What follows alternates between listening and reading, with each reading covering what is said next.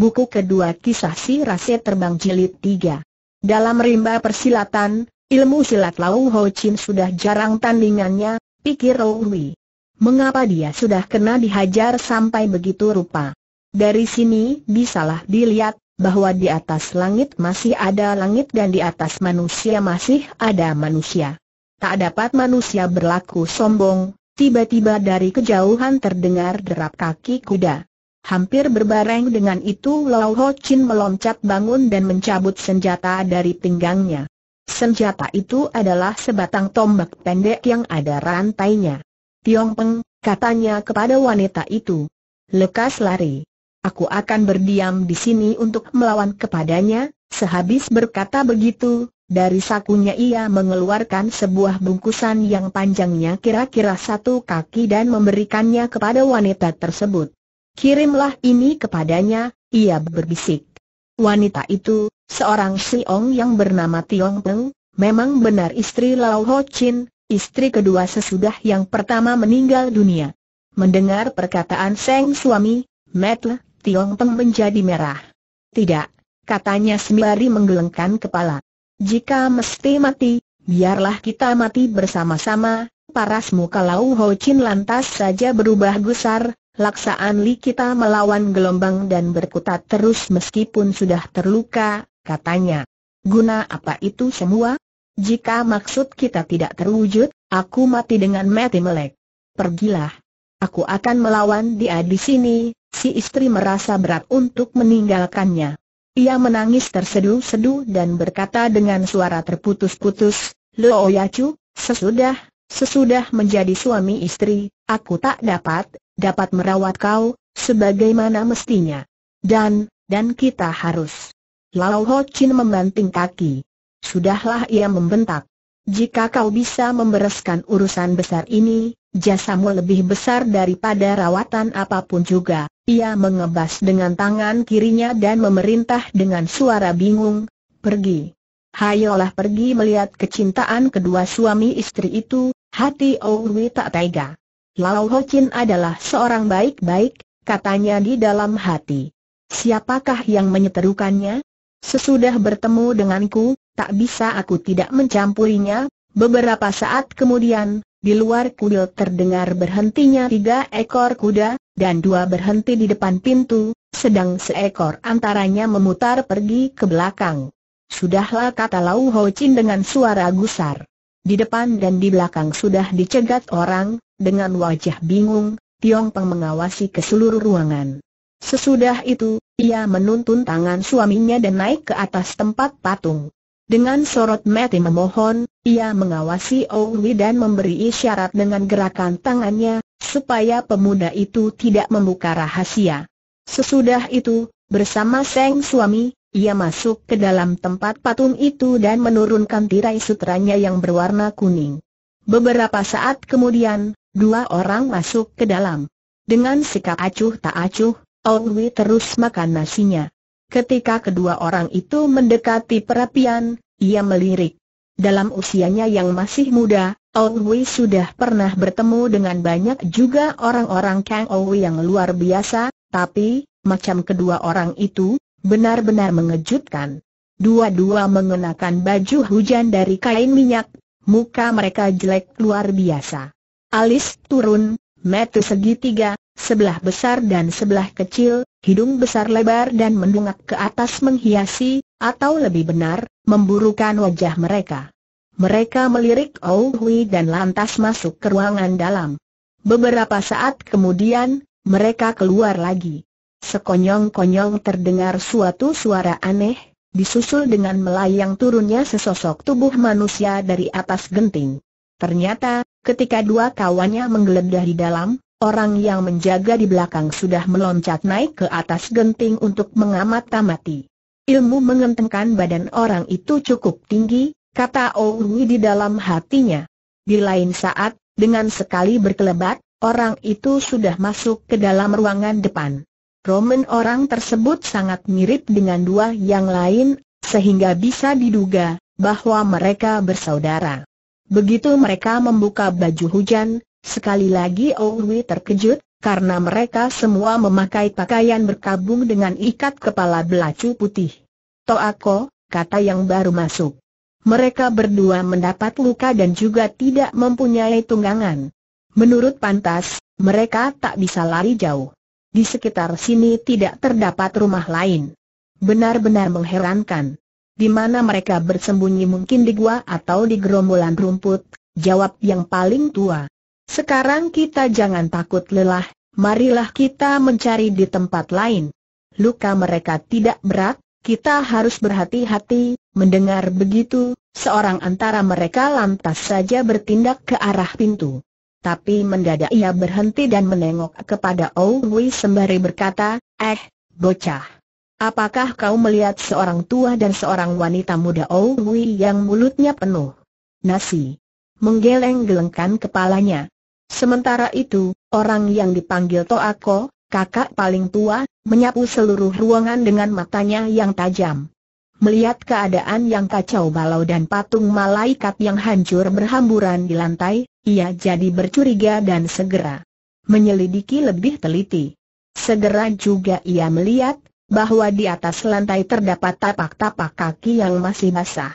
Sekali melirik, Owi mengetahui bahwa orang itu sedang bercuriga. Tadi ada beberapa orang yang bertempur di sini, katanya dengan cepat. Ada lelaki, ada perempuan, tua dan muda.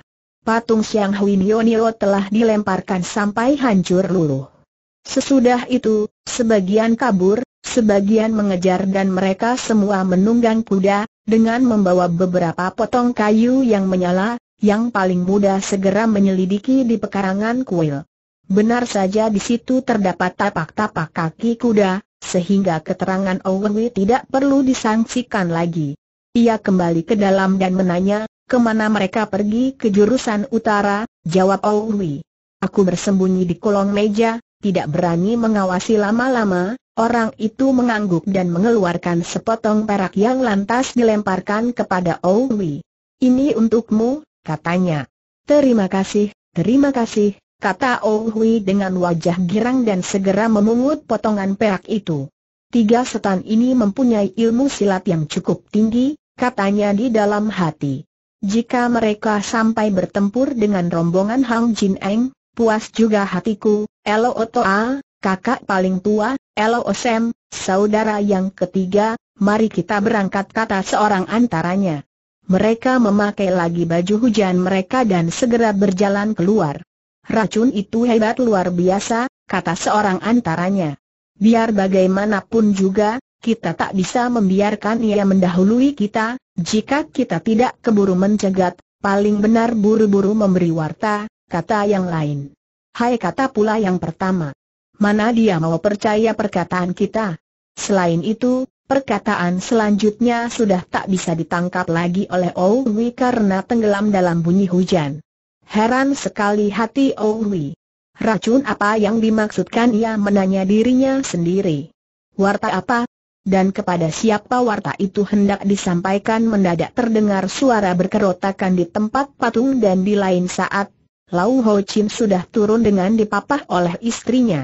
Tempo Owi bertemu dengan orang itu di Hang Yap Shung, di waktu ia mengadu silat dengan Wan Chie gerak-geriknya gesit luar biasa. Tapi sekarang, ia tak mampu turun dari tempat patung itu tanpa dibantu istrinya. Begitu turun, Lau Ho Chin segera memberi hormat kepada Hui Seraya berkata, Terima kasih banyak untuk Budi Xiao Ko, saudara kecil, yang sudah menolong jiwaku, buru-buru Ou membalas menghormat. Sungguh galak tiga orang itu, katanya dengan sikap ketolol-tololan. Sekali membuka mulut, mereka memanggil aku bocah. Mana aku kesudian bicara terus terang aku silau, orang tua itu memperkenalkan diri. Namaku Hochin. Inilah istriku. Bisakah aku mengetahui si dan nama Xiao Ko yang mulia ditanya begitu? Ong Hui segera berkata dalam hatinya, kau telah memberitahukan nama yang sejati, aku juga tidak boleh berdusta. Tapi namaku tidak mirip dengan nama seorang dusun. Biarlah aku mengubahnya sedikit. Memikir begitu, lantas saja ia menjawab, aku si Ou, namaku atau A, ia ingat, bahwa sebagai anak tunggal kedua orang tuanya, dengan menggunakan nama atau A, putra yang sulung, ia tidak terlalu berdusta. Xiao Ko masih berusia muda, kata Lau Ho Chin pula. Di belakang hari, kau tentu bisa menjadi seorang hartawan, bicara sampai di situ, ia mengerutkan alisnya dan menggigit bibir, seperti sedang menahan sakit. Lo Yacu, kau kenapa tanya istrinya dengan suara bingung? Seng suami tidak menyahut, ia hanya menggeleng-gelengkan kepala dan duduk menyandar di meja sembahyang dengan napas tersengal-sengal. Si istri lalu turut duduk di atas lantai dan mengurut dada suaminya. Melihat begitu, Ong Hui merasa kurang enak untuk berdiam di situ lama-lama, maka, sesudah mengambil sepotong kayu yang menyala, ia lantas saja berkata, Lo Yacu, aku mau tidur di ruangan belakang, Sehabis berkata begitu, ia lantas berlalu. Dengan mati mendolong, ia mengawasi jerami di depan meja sembahyang. Ia ingat bahwa tadi Wan Chie masih berbaring di atas jerami itu. Tapi sekarang, si Nona sudah pergi jauh dan apa yang ketinggalan, hanyalah kuil yang sunyi senyap dan Owenwi yang sebatang kera. Lama ia berdiri bagaikan patung sambil memegang kayu bakar itu yang apinya jadi semakin kecil. Sekonyong-konyong ia ingat akan suatu urusan penting. Celaka pikirnya. Kitab silatku telah dibawa kabur olehnya. Sampai sekarang aku masih bisa melayani ia. Tapi sesudah ia menghafal isi kitabku dan dapat memahami semua kepandaianku, Sekali bergebrak saja ia bisa mampuskan aku dalam sekejap, lamunannya yang muluk sedap berubah menjadi perasaan takut. Dengan uring-uringan ia melemparkan potongan kayu itu dan membanting dirinya di atas jerami. Secara kebetulan, badannya jatuh di atas pauhoknya, buntelan pakaian. Dalam gelap gulita, ia merasa buntelannya agak berubah, seperti juga lebih besar dari tadinya. Ia meraba-raba dan mendapat kenyataan, bahwa isi pauho itu sudah bertambah semacam benda yang agak keras. Ia ingat, bahwa buntelan itu, tadi digunakannya sebagai bantal kepala. Ketika ia keluar untuk menghajar Hang Jin Eng, buntelan itu masih tetap berada di tempatnya. Tapi sekarang, pauhok tersebut ternyata sudah berpindah tempat. Oh Hui heran bukan main. Istri Lau Ho Chin dan tiga saudara itu pernah datang di sini, pikirnya. Apakah mereka yang menggerayangi buntelanku dengan rasa penasaran ia segera menyalakan api dan membuka buntelannya. Dan begitu melihat, hampir-hampir ia tak percaya pada kedua matanya sendiri. Ternyata, isi buntelan itu bertambahkan seperangkat pakaian, sepasang sepatu, dan sepasang kas kaki, yaitu miliknya sendiri yang telah dibawa lari oleh Wan Chie. Hatinya berdebar setelah ia mendapat kenyataan, bahwa pakaian itu sudah dicuci bersih. Ia mengangkat pakaian itu untuk memeriksa terlebih jauh. Dan, jantungnya memukul keras. Di bawah pakaian itu terdapat kitab silatnya, beberapa potong emas dan sebuah hang-hang, burung hong, terbuat dari giok putih dan panjangnya kira-kira tiga dim. Hang-hang itu indah luar biasa, terang sekali diukir oleh tangan yang pandai. Lama sekali Owi bengong dengan mulut ternganga. Kemudian ia membungkus pula buntelannya dan menggenggam hang-hang itu di dalam tangannya. Ia berbaring di atas jerami itu dengan otak bekerja keras. Jika mau dikatakan ia berlaku manis terhadapku, kenapa ia sudah melindungi Hang Jin Eng secara begitu mati-matian tanyanya kepada diri sendiri. Jika dikatakan dah menyeterukan aku, kenapa dia memulangkan pakaianku yang sudah dicuci bersih, kitabku, dan juga menghadiahkan hong-hong yang begini indah kepadaku? Kenapa? Kenapa? Ia gelisah dan tentu saja tak bisa tidur pulas. Tiba-tiba sinar berkelebat di pintu ruangan belakang. Owi melirik dan melihat, bahwa dengan dipapah oleh istrinya, Lau Ho Chin sedang bertindak masuk dengan sebelah tangan mencekal sebatang kayu menyala.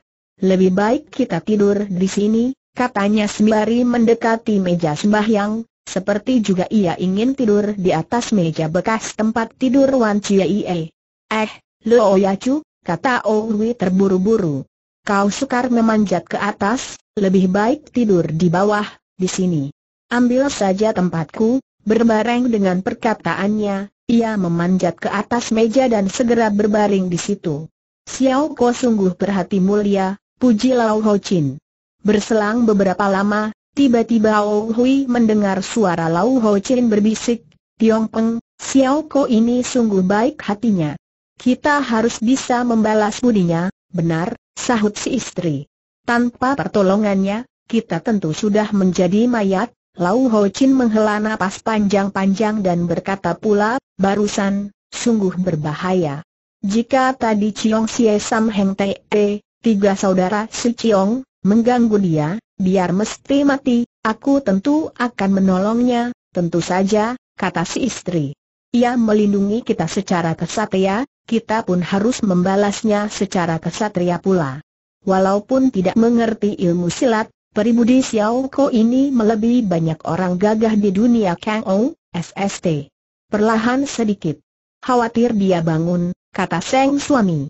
Sehabis berkata begitu, ia memanggil Xiao Ko. Xiao Ko Oh Hui tidak menyahut, ia pura-pura pulas. Ia pulas, bisik Tiong Peng. Hektometer kata Lau Ho Chin. Beberapa saat kemudian ia berkata pula, Tiong Peng, tadi di waktu aku memerintahkan kau kabur, kenapa kau membangkang hai? Kau terluka berat, mana aku tega, jawabnya. Kau sendiri tahu, bahwa surat ini luar biasa pentingnya, kata Seng suami. Jika tidak diserahkan ke dalam tangan Kim Dian Hut Biao Tai Hiap, tak tahu berapa banyak orang gagah akan binasa, Wei terkesiap mendengar kata-kata Kim Dian Hut Biao Tai Hiap. Hampir-hampir ia mengeluarkan seruan ah. Ia mengetahui, bahwa dengan mendiang ayahnya, Biao Jin Hong mempunyai semacam sangkutan yang luar biasa. Menurut kata orang-orang Kang Ou, ayahnya telah binasa dalam tangan Kim Bian Hout.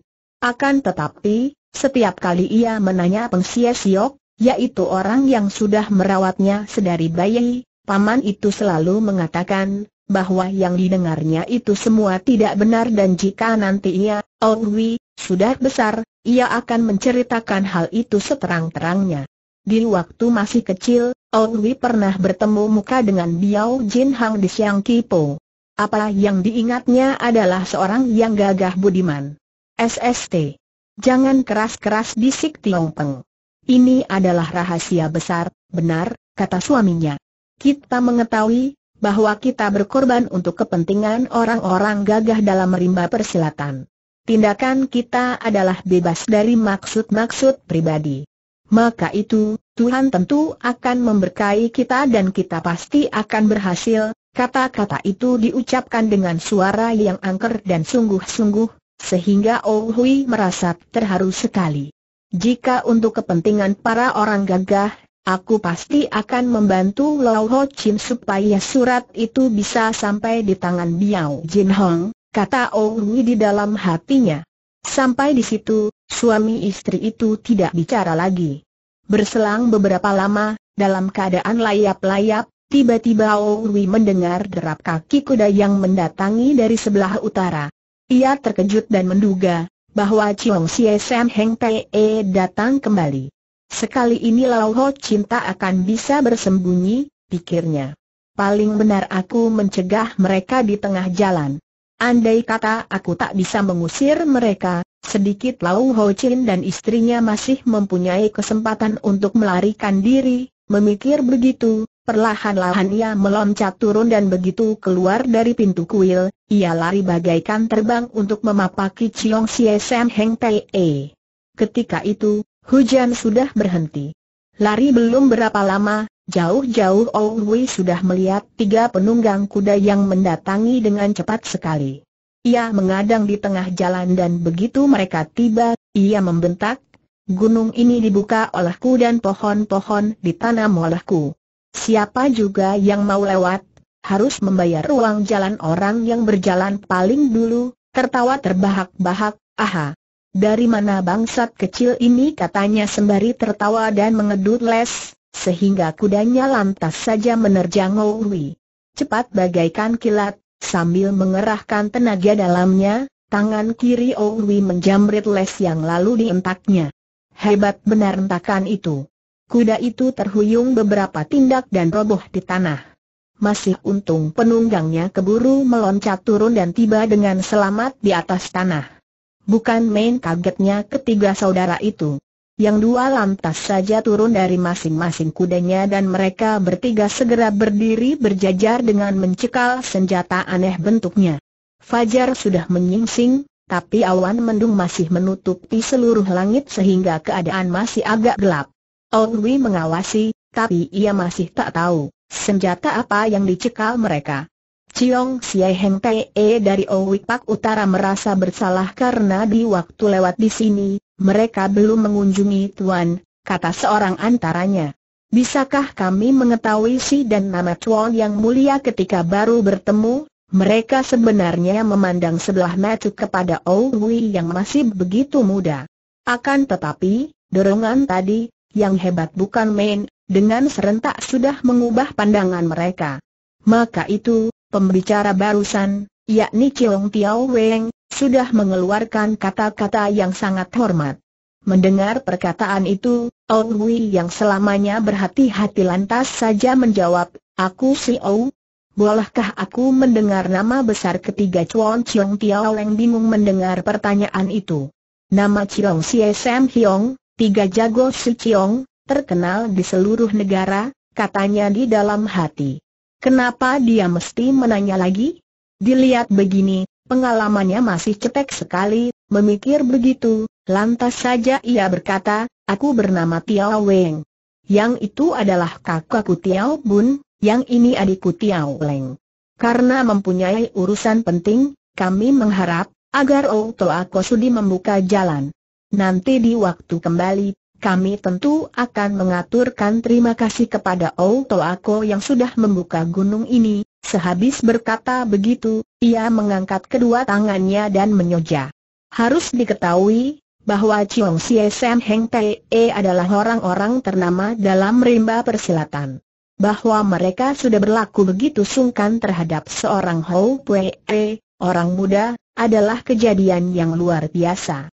Perasaan segan sudah muncul karena mereka menyaksikan lihainya. Ong di waktu ia mengentak kuda. Selain itu, terdapat kemungkinan besar bahwa pemuda itu datang bukan seorang diri, mungkin gurunya atau kawannya yang lihai berada di dekat tempat itu. Ong Hui segera membalas penghormatan itu dan berkata, janganlah Lo Osu memakai begitu banyak peradatan. Apakah Samuel sedang mencari suami istri Lau Ho Chin sesaat itu, cuaca sudah terang. Ketiga saudara lantas saja mengenali, bahwa pemuda yang mencegat mereka, adalah si orang dusun yang tadi sedang makan nasi di rumah berhala. Mereka mendongkol bukan main, sebab sudah kena dikelabui seorang bocah. Di lain pihak, Ong Wip pun sudah melihat nyata senjata-senjata ketiga saudara itu yang sangat aneh. Senjata Chong Tiao Bun adalah Kok Song Pang, Teng Tung, tongkat yang biasa dibawa oleh Hau Lem, anak lelaki yang orang tuanya meninggal dunia, senjata Tiao Wengi alah Pei, papan nama di meja abu, terbuat dari besi, yang panjangnya kira-kira satu kaki dan yang di atasnya bertuliskan beberapa huruf, sedang yang paling aneh adalah senjata Tiao Leng, yaitu Chiao Hun Hoan, bendera untuk memanggil roh yang biasa ditancap di meja sembahyang. Di samping senjata mereka yang aneh, pakaian mereka pun tidak kurang anehnya. Dengan mengenakan pakaian berkabung, ditambah pula dengan romen mereka yang jelek luar biasa, sebelum bertempur, musuh yang tanggung-tanggung tentu sudah ketakutan terlebih dulu. Demikianlah, melihat senjata-senjata aneh itu, Ong berwaspada dengan memusatkan seluruh perhatiannya. Pernah apakah Tuan dengan Lau Loosu tanya Tiao Wing. Dengan Lau Loosu, aku tak mempunyai hubungan suatu apa, jawab Ong Dengan ia, hari ini aku baru bertemu. Untuk kedua kalinya. Hanya karena Samuel sudah mendesaknya secara keterlaluan, barulah aku memberanikan hati untuk memohonkan belas kasihan. Kata para pujangga, jika kita bisa memaafkan, maafkanlah, karena kita pun sering-sering perlu mendapat maaf. Lau Loosu suami istri sudah mendapat luka, maka itu aku minta Samuel suka berlaku sedikit murah hati, Chiong Tiao Bun mendengarkan pembicaraan itu dengan tidak sabar. Ia khawatir bahwa dengan menggunakan kesempatan tersebut, Lau Ho Chin akan melarikan diri. Sembari melirik saudaranya, perlahan-lahan ia berkisar untuk menghantam Mo Wi dari jurusan samping. Ganjalan apa yang terdapat antara Samwia dan Lau Lo Su, sama sekali aku tidak tahu, kata Owi pula. Aku hanya mengetahui bahwa sekarang ini Lau Su mempunyai suatu tugas yang belum selesai. Apakah tak mungkin Samuel baru mencarinya, sesudah tugas itu selesai dikerjakannya kami justru tak mau membiarkan ia menyelesaikan pekerjaan itu, kata Tiao Bun dengan gusar.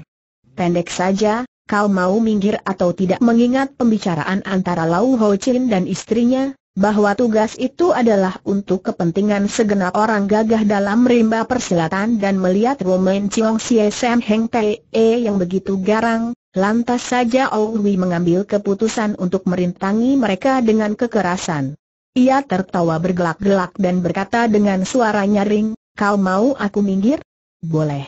Tapi serahkan dulu 300 tahil perak bukan main gusarnya Tiao Bun. Ia mengebaskan kot song pangnya dan bergerak untuk menerjang. Toako, tahan kata Tiao Weng sembari merogoh sakunya dan mengeluarkan empat potong perak. Empat potong perak ini lebih dari 300 tahil, katanya. Ambillah Jiet E. Apa artinya ini teriak Tiao Bun. Ciong Sia Sam Hyong, tiga jago Si Ciong, adalah orang-orang ternama yang disegani dalam kalangan Kang Ou, ia sungguh penasaran melihat adiknya memperlihatkan kelemahan yang keterlaluan di hadapan seorang bocah. Tapi Tiao Weng mempunyai alasan lain. Untuk mengejar Lau Ho Chin, mereka harus bertindak secepat mungkin. Meskipun dia yakin bahwa dengan tiga melawan satu, pihaknya akan bisa merobohkan pemuda itu, akan tetapi, sedikit kelambatan saja, urusan besar itu bisa menjadi gagal. Itulah sebabnya, Mengapa, walaupun mendongkol bukan main, ia terpaksa mengalah. Sikap Tiao Weng benar-benar di luar dugaan Owi. Tapi lantas saja ia menggelengkan kepala. Terima kasih, terima kasih katanya. Menurut Chiong Lo Su, berat empat potong itu melebihi 300 tahil. Tapi permintaanku adalah 100 tahil dari seorang, jadi 300 tahil dari tiga orang.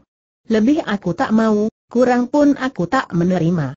Begini saja, marilah kita bersama-sama pergi ke kota, ke toko perak, untuk menimbangnya sampai di situ, habislah kesabaran Tiao Weng yang terkenal sabar. Ia masukkan pula perak itu ke dalam sakunya dan berkata, Toako, Samtue, pergilah kalian jalan lebih dulu, ia berpaling kepada Owi Seraya membentak, hunuslah senjatamu. Owi mengetahui, bahwa ia sedang menghadapi lawan berat dan hatinya mendongkol karena goloknya telah direbut Tuan Chie Saat itu, Tiao Bun dan Tiao Leng sudah bergerak untuk kabur lewat di kedua sampingnya. Tindakan apa harus diambilnya? Mendadak ia maju dua tindak dan menghantam kepala kuda Tiao Weng dengan tinjunya. Pukulan itu adalah pukulan terhebat dari Ong Ki Kun Hoat. Begitu kena, hewan itu bergemetar tubuhnya dan roboh tanpa berkutik lagi. Ciong Sam Heng Pei jadi kesima bahana kagetnya. Dengan menggunakan kesempatan itu, Ong Hui membetot tali sepasang sanggur di kuda itu yang lantas saja menjadi putus. Maaf. Maaf katanya. Karena tidak membawa senjata, terpaksa aku meminjam sanggur di ini, berbareng dengan perkataannya, sebuah sanggur di menyambar muka Tiao Bun, sedang yang satu lagi menghantam pundak Tiao Leng.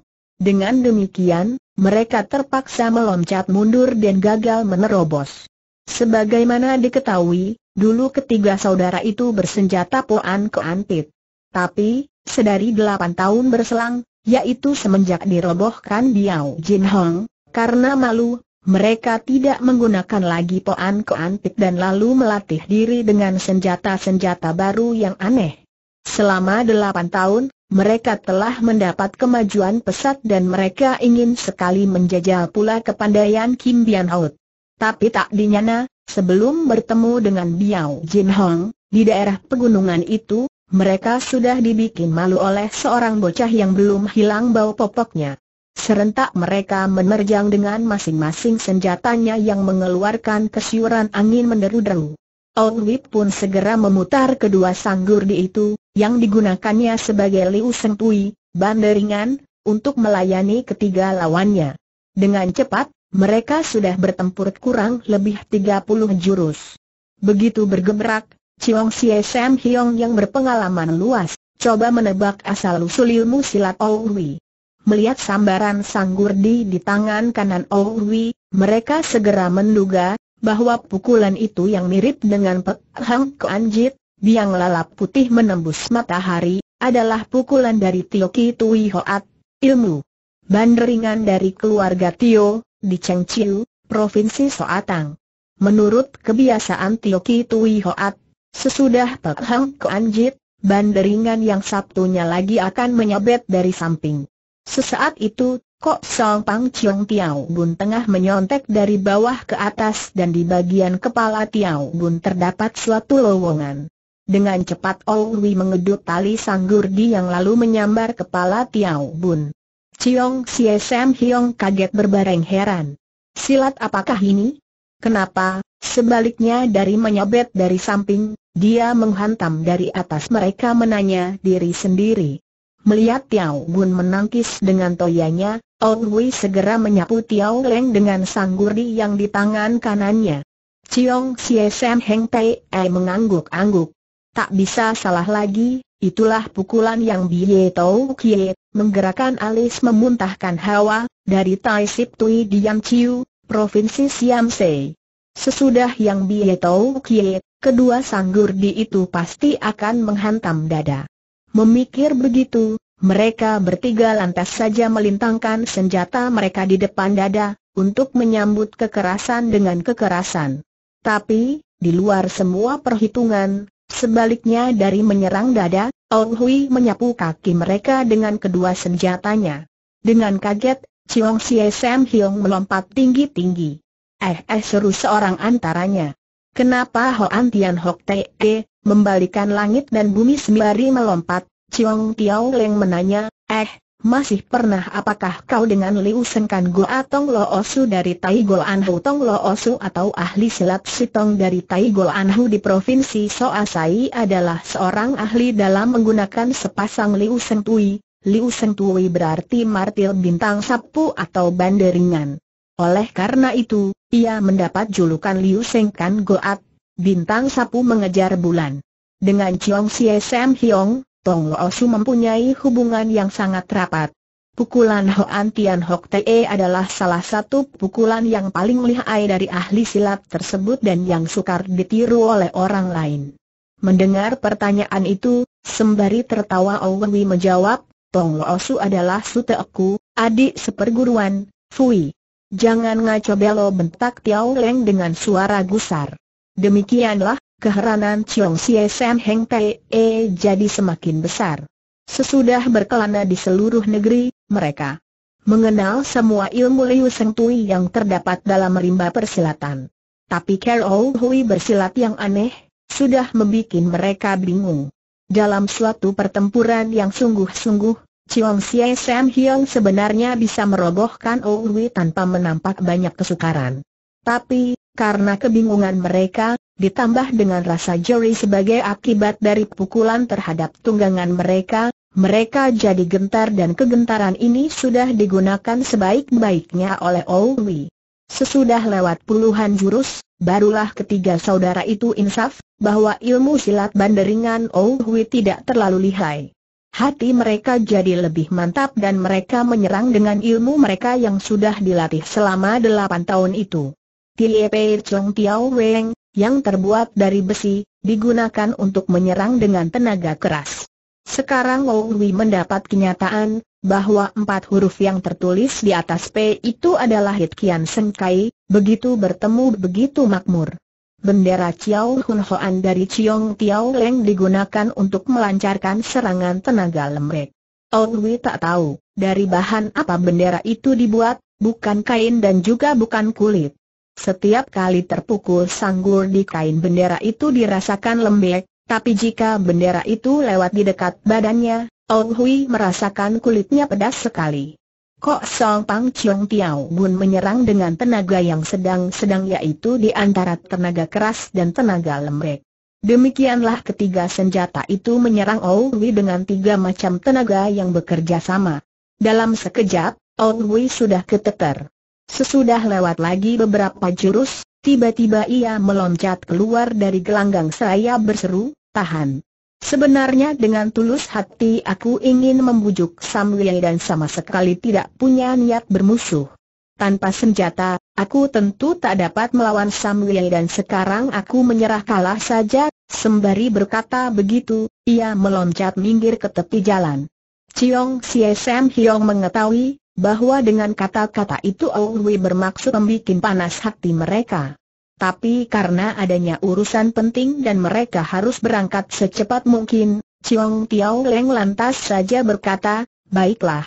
Lain kali, dengan senjata yang biasa kau gunakan, kau boleh mencoba-coba lagi, berbareng dengan perkataannya, ia lantas menghampiri tunggangannya. Lain kali kata Owi sembari tertawa menyindir. Bagus. Lain kali saja. Tak dinyana, Chiong Sie Sam Heng Pei adalah manusia-manusia yang begitu saja, apa kau kata bentak Chiong Tiao Bun? Siapa menyuruh kau tidak membawa senjata sebenarnya aku sudah mempunyai suatu cara yang adil, kata Owi dengan tenang.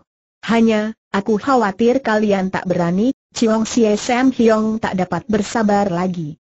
Hayo katakan mereka berseru hampir berbareng. Sebelum Owi keburu membuka mulut, Chiong Tiao Weng sudah berkata pula, kedua saudaraku akan melayani kau di sini, sedang aku mau berangkat lebih dulu. Sehabis berkata begitu, ia menggenjot badannya terus melompat. Hampir berbareng dengan itu, Ong Hui yang terus berwaspada turut melompat ke atas sambil mementang kedua tangannya untuk menghalang-halangi musuh itu kabur. Tiao Weng yang tidak menduga, bahwa pemuda itu bisa bergerak begitu cepat, lantas saja menghantam dengan tiap painya. Tanpa berkelit, selagi badannya masih berada di tengah udara, tangan kanan Oh Hui menyambar pergelangan tangan musuhnya, sehingga TP itu hampir-hampir kena direbut. Dengan terkejut, Tiao Bun dan Tiao Leng menubruk dari kiri kanan, tapi pemuda itu sudah meloncat ke belakang. Sembari mengeluarkan tertawa nyaring dan kemudian memotes sebatang cabang pohon siong yang lurus. Jika kalian mempunyai nyali, ia menantang, mari menjajal-jajal ilmu goloku, meskipun senjatanya tidak sampai kena direbut, Tiao Weng merasakan pergelangan tangannya sakit sekali, akibat cengkeraman Owi tadi. Pemuda ini benar-benar bukan sembarangan orang, pikirnya. Jika aku sendiri mengejar Lau Ho Chin dan membiarkan kedua saudaraku berdiam di situ, aku benar-benar merasa khawatir. Biarlah lebih dulu kita bertiga merobohkan dia dan kemudian baru mengejar lagi orang Shilau itu, memikir begitu, lantas saja ia berkata, kami bersedia melayani ilmu golok tuan, hanya menyesal kami tidak membawa golok, antara kita sama kita tidak ada permusuhan atau ganjalan, kata Owi. Bahkan kita belum pernah saling mengenal. Maka itu, tak perlu kita bertempur mati-matian. Begini saja, kita berjanji, siapa yang tersentuh, dia yang kalah. Apakah Samuel setuju-setuju kami setuju, sahut Tiao Bun. Ong lalu memetik daun-daun yang menempel pada cabang itu, sehingga yang ketinggalan hanyalah sebatang dahan yang lurus dan bersih. Biarlah aku menggunakan cabang siong ini sebagai golok, katanya. Samuel boleh menyerang dengan berbareng. Lebih dulu kita berjanji, bahwa setiap pukulan dari cabang ini harus dianggap sebagai bacokan golok. Apakah aku bisa mendapat janji Chiong Sie Sam Heng Pei eh, mendengar kata-kata itu, darah Chiong Sie Sam Hyong jadi semakin meluap. Sebelum kau terlahir, nama Chiong Sie Sam Hyong yang selalu memegang janji, sudah dikenal di seluruh Kang Ou, kata Tiao Bun dengan suara keras. Kalau begitu, Sambutlah kata Owi sembari menebas dengan senjatanya. Dalam sekejap, mereka sudah bertempur seru. Oh Kitu Hoat benar-benar lihai. Dalam tangan Owi, cabang pohon yang kecil lurus itu menyambar-nyambar bagaikan kilat cepatnya, disertai dengan kesiuran-kesiuran angin yang dahsyat. Dalam serangan-serangannya, senjata Owi tak pernah kebentrok dengan senjata musuh tapi setiap pukulannya ditujukan ke bagian badan musuh yang berbahaya. Memang benar, walaupun kena terpukul, pukulan itu tidak membahayakan jiwa. Akan tetapi, karena adanya perjanjian, Chiong Sie Sam Hyong harus menjaga supaya badan mereka tidak kena dicolek dengan cabang itu. Tak lama kemudian, ketiga saudara itu sudah terdesak. Dalam gusarnya, begitu melihat kesempatan, Tiao Bun menyabet betis Owi dengan toyanya. Dalam pertempuran Chiong Sie Sam Heng Te selalu bekerja sama secara erat sekali. Begitu lekas Owi melompat untuk berkelit dari toya musuh, Tiao Hun Hoan, senjata Chiong Tiao Leng, sudah menyambar kepalanya, dan hampir berbareng, Tiepe Tiao Leng menghantam pinggang kanannya. Sekali ini, sebaliknya dari berkelit atau meloncat mundur, dengan berani Owi maju setindak dan secepat kilat ujung cabang suang itu menyambar pundak kiri Tiao Bun. Serangan itu bukan saja cepat, tapi juga hebat luar biasa. Jika senjata Owi itu sebilah golok tajam, lengan Tiao Bun, sebatas pundak, tentu sudah terpisah dari tubuhnya. Wajah Tiao Bun lantas saja berubah pucat bagaikan kertas. Sudahlah. Sudahlah ia berseru sambil melemparkan kok song pangnya dan meloncat keluar dari gelanggang. Tiao Weng dan Tiao Leng terkejut bukan main. Dengan serentak mereka lalu menyerang seperti harimau edan dengan pengharapan bisa merobohkan lawan, supaya pertandingan itu menjadi seri. Tapi, baru saja belasan jurus, sebaliknya dari berhasil, mereka sendiri yang kena dirobohkan musuh, Tiao Leng kena disabet lehernya, Tiao Leng dibabat lututnya. Muka kedua saudara itu jadi berwarna ungu, bahana malu dan gusar. Dengan berbareng, mereka melemparkan senjata mereka. Uaha Tiao Leng memuntahkan darah hidup dari mulutnya. Melihat ketiga saudara itu memegang janji, Owi jadi menghargakan mereka. Ia merasa syukur, bahwa barusan ia tidak menurunkan tangan jahat dan ia yakin, bahwa Tiao Weng memuntahkan darah, bukan disebabkan luka, tapi karena kejengkelan yang melampaui batas. Dengan perasaan menyesal, ia merangkap kedua tangannya untuk memberi hormat. Tapi sebelum ia keburu membuka mulut, Tiao Leng sudah mengeluarkan suara di hidung. Hektometer katanya. Chuan memiliki ilmu silat yang sangat tinggi dan aku merasa kagum. Hanya sayang, sungguh sayang, Chuan yang masih begitu muda, tidak mengambil jalan yang lurus Sou Wei terkesiap. Kenapa aku tidak mengambil jalan yang lurus tanyanya dengan tercengang. Sam Te, kata Tiao Bun dengan suara gusar. Guna apa banyak-banyak bicara dengan dia sehabis berkata begitu, ia segera membantu Tiao Leng naik ke punggung kuda dan mereka lalu berangkat tanpa menengok pula dan tanpa memungut senjata mereka yang dilemparkan di atas tanah. Melihat cara-cara ketiga saudara itu, mau tak mau, Ong Hui merasa kagum. Ia berdiri seperti patung sambil mengawasi tiga senjata itu dan bangkai kuda yang menggeletak di atas tanah. Berselang beberapa saat, baru ia kembali ke kuil itu dengan tindakan perlahan. Setibanya di bio itu, ia mendapat kenyataan bahwa suami istri Lau Ho Chin sudah berlalu. Mengingat bahwa barusan ia telah melakukan pekerjaan mulia, Hatinya merasa terhibur. Di mana adanya Biao Jin Hang tanyanya di dalam hati. Orang itu bergelar Tah Tian Tian Hei Bu Tek Chiu. Berapa tinggikah ilmu silatnya mengingat bahwa Kim Bian Hut mempunyai sangkut paut yang sangat rapat dengan mendiang ayahnya, ia ingin sekali menemui orang gagah itu. Tapi di lain pihak, ia juga tak bisa melupakan Hang Jin Eng yang sudah bisa meloloskan diri dari cengkeramannya. Jika ia gagal dalam usahanya membalaskan sakit hati keluarga Chiong Asye, ia bukan laki-laki. Pada saat itu, ia sangat ragu-ragu. Apakah ia harus pergi menemui Biao Jin Hang atau mengejar Hang Jin Eng? Sembari menimbang-nimbang, ia berjalan kembali ke tempat di mana barusan ia bertempur dengan Chiong Sie Sam Hyong. Begitu tiba di situ, hatinya merasa heran oleh karena senjata ketiga saudara Ciong itu, yang tadi menggeletak di atas tanah, sekarang tak ketahuan ke mana perginya. Yang masih terdapat di tempat itu hanyalah bangkai kuda itu. Fajar baru saja menyingsing dan belum ada manusia lain yang lewat di sini, katanya di dalam hati. Apakah Chiong Sie Sam Hyong kembali lagi untuk mengambil pulang senjata mereka Oh Wei tak gampang mau menerima dengan begitu saja, jika menghadapi suatu teka-teki. Semakin sulit, ia semakin penasaran. Demikianlah ia terus menyelidiki keadaan di sekitar situ. Berapa saat kemudian, matanya yang sangat tajam melihat sebuah tapak kaki berlumpur di cabang pohon besar yang terpisah kurang lebih 30 tombak dari tempat pertempuran. Tapak itu terdapat di cabang yang tingginya kira-kira tiga tombak dari muka bumi dan pasti tak akan dapat dilihat mata orang biasa. Sesudah memeriksa secara lebih teliti, Owi mendapat kenyataan bahwa tapak itu berukuran kecil dan masih agak basah, sehingga ia segera menarik kesimpulan bahwa yang barusan berdiri di situ adalah seorang wanita.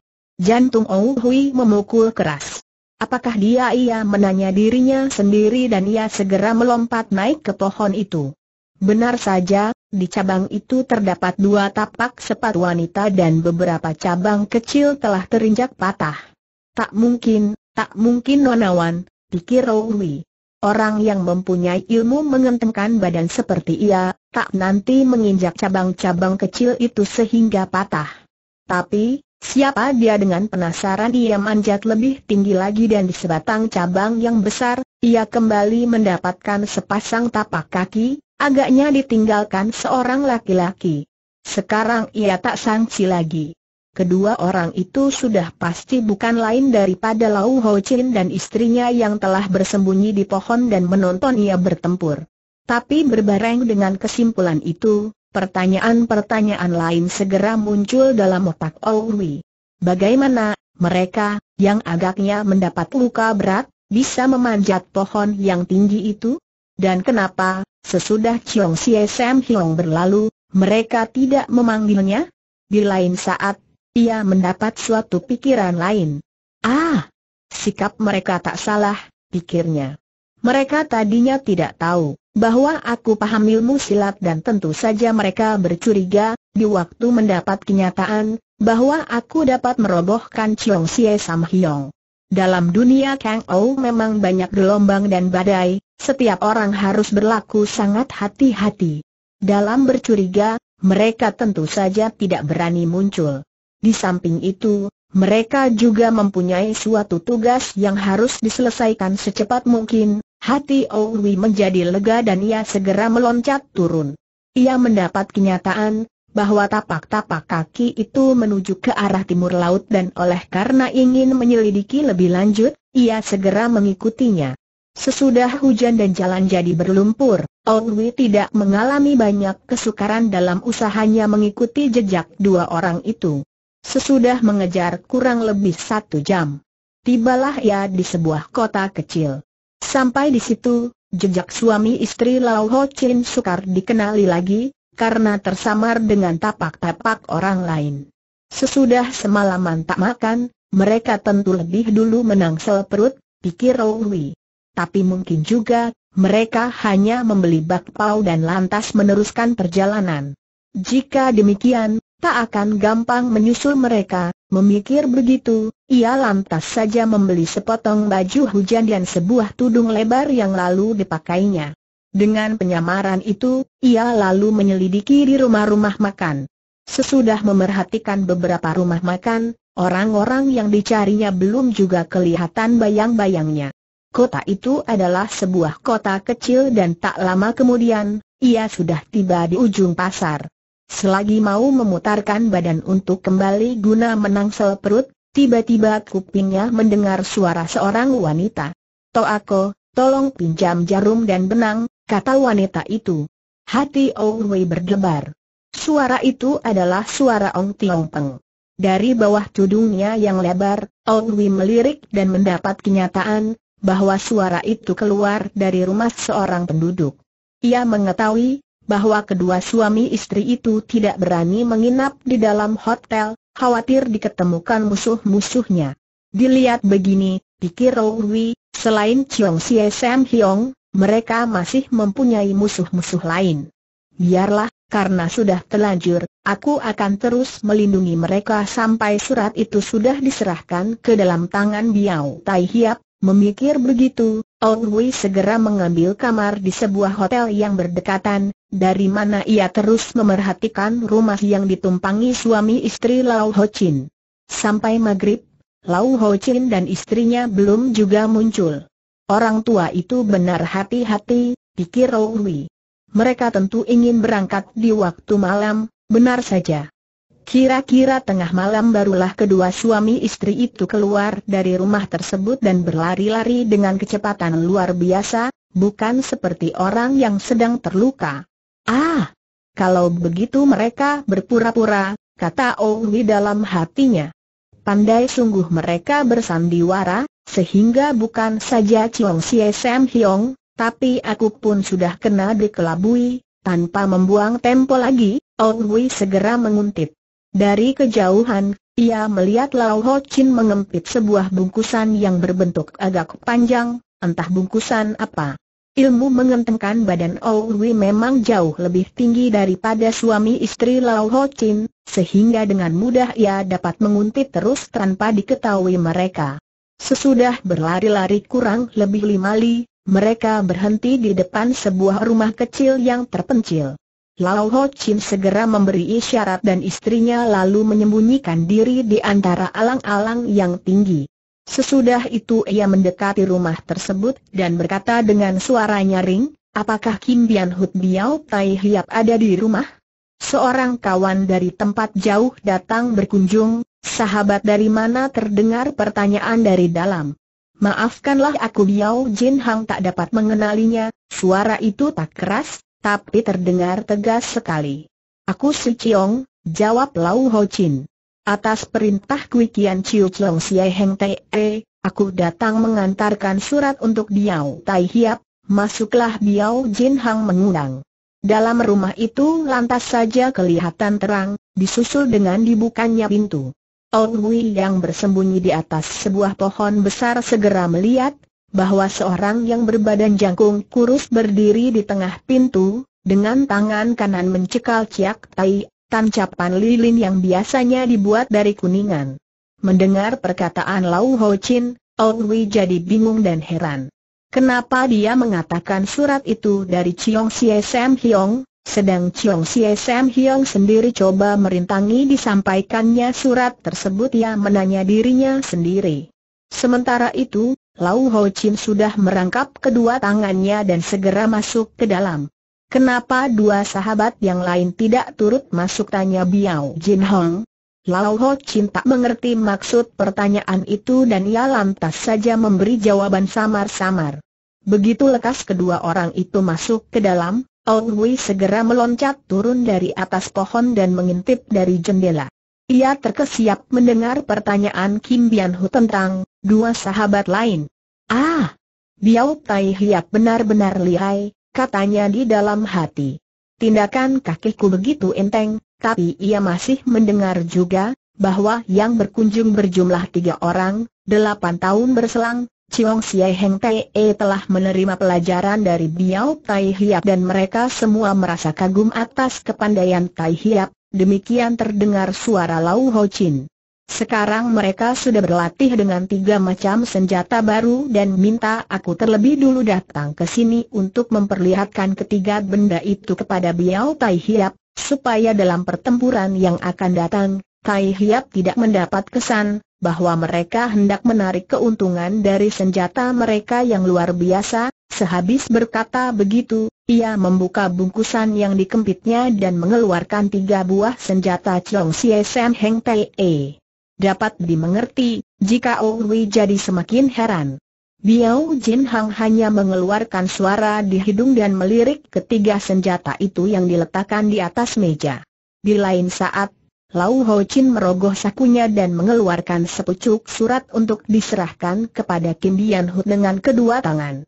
Biarlah Biao Tai Hiap membaca surat ini, katanya. Sekarang tugasku sudah selesai dan aku minta permisi berlalu, ia menyoja dan lantas mengundurkan diri. Perlahan sedikit, kata Biao Jin Hong. Sesudah membaca surat ini, aku ingin memesan beberapa perkataan kepada saudara untuk disampaikan kepada Chiang Sie Sam Heng Te. Ia yakin, bahwa surat itu adalah surat tantangan dan ia segera merobek amplopnya. Selagi Biao Jin Hang membaca, Ong memerhatikan wajahnya yang sangat angker. Ia mendapat kenyataan, bahwa dibanding dengan delapan tahun berselang ketika mereka bertemu muka di Siang Kipo, Kim Bian Hut kelihatan banyak lebih tua dan pada mukanya terdapat garis-garis yang mencerminkan penderitaan selama itu. Tapi, sekonyong-konyong, wajah yang berduka itu berubah menjadi merah padam, kedua alisnya berdiri dan dari kedua matanya keluar sinar berkilat-kilat.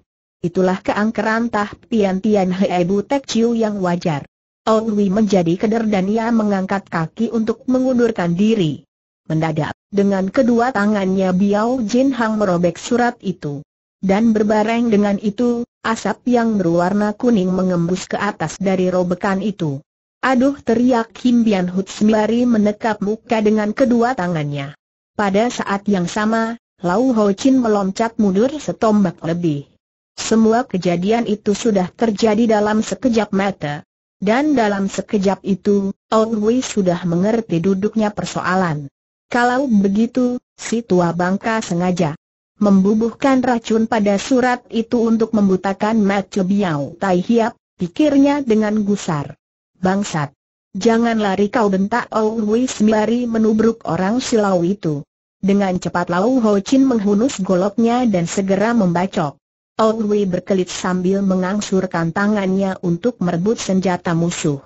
Pada saat itu, suatu kesiuran angin yang sangat dahsyat menyambar punggungnya, sehingga mau tak mau, Ong Wei terpaksa memutarkan badan untuk menyambut serangan tersebut dengan kedua tangannya. Ia mengetahui, bahwa dalam gusarnya, serangan Biao Jin Hang tentu hebat luar biasa. Oleh karena itu, lantas saja ia menggunakan ilmu Lian Hoan Koat dari Tai Kekun, yang didapatnya dari Tio Po San, untuk memunahkan tenaga pukulan Kim Bian Hout. Tapi, begitu lekas kedua tangannya kebentrok dengan tenaga pukulan Biao Jin Hong, matanya berkunang-kunang dan dadanya sesak, sehingga ia terhuyung ke belakang beberapa tindak. Ternyata, ia hanya dapat memunahkan sebagian dari tenaga Kim Bian Hut yang luar biasa itu. Biao Tai Hiap berseru Aui. Aku ingin membantu kau membekuk bangsat itu, sementara itu, Lau Ho Chin sendiri sudah melarikan diri. Kedua mata Biao Jin Hang sakit bukan main, seperti juga ditusuk-tusuk ratusan jarum. Begitu lekas tangannya kebentrok dengan tangan Owi, ia mengetahui bahwa lawannya bukan orang sembarangan. Sesudah kedua matanya buta, ia merasa pasti hari itu jiwanya akan melayang. Dalam bingungnya dan gusarnya, ia tak dapat menangkap perkataan Owi. Melihat suami istri Lau Ho Chin kabur ke jurusan barat, Owi segera memutarkan badan untuk mengejar. Tapi baru saja ia melangkah, dari kejauhan tiba-tiba muncul tiga orang yang mengenakan pakaian berkabung dan mereka itu bukan lain daripada Chiong Sie Sam Heng Tae. Melihat penderitaan Kim Bian Hut, dalam hati Oh Hui lantas saja timbul rasa kasihan. Ia ingin mendekati untuk coba menolong, tapi khawatir dihantam. Biao Tai Hiap, katanya dengan suara nyaring. Walaupun aku bukan sahabatmu, tapi aku tak akan mencelakakan kau. Apakah kau percaya suara itu yang bernada memohon dan keluar dari hati setulusnya, segera meredakan kekalapan Biao Tai Hiap. Meskipun kedua matanya tak dapat melihat wajah orang, hatinya yakin, bahwa pemuda yang mengeluarkan suara begitu, bukan seorang jahat. Kata orang, Eng Hiong mengenal Eng Hiong. Demikian juga, suara Ong Hui itu adalah seolah-olah kesiuran angin sejuk pada darah Biao Jin Hang yang sedang mendidih. Baiklah, katanya. Tolong cegat manusia-manusia jahat yang berada di luar pintu, dengan kata-kata itu, Kim Bian Hut sudah menerima Ong Hui sebagai sahabatnya. Di lain pihak, Suara Biao Jin Hang yang tulus jujur diterima Owi dengan rasa hangat.